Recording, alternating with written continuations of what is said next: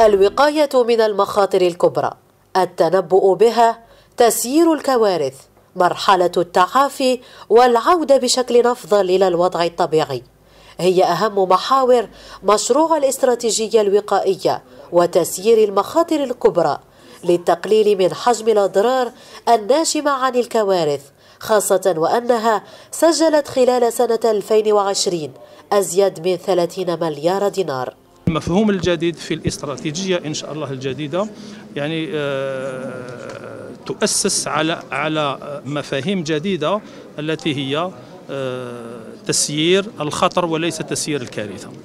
هذا ما يعني نرجو من هذا من مخرجات هذا الملتقى إن شاء الله مع كثير من الخبراء. المفاهيم الجديدة التي أدخلت في في نظام سنداي هو هو إشراك المجتمع المدني الذي يعتبر منذ اليوم كشريك شريك آه، في آه، في آه، في تحديد الاستراتيجية وكذلك في تنفيذ الاستراتيجية.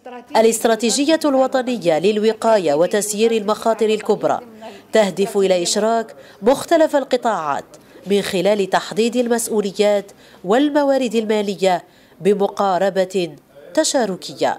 يستند النهج الاستراتيجي المعتمد في وزارة الدفاع الوطني على منظومة وضعت من أجل الوقاية من المخاطر الكبرى والتكفل بتسيير الكوارث.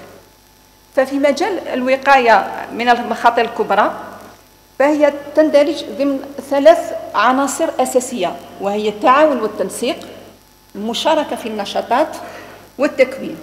تعزيز القاعدة القانونية والإسراع في أعداد بعض النصوص التطبيقية. من شأنه رفع العراقيل وإحداث أكثر مرونة في تسيير هذه الكوارث.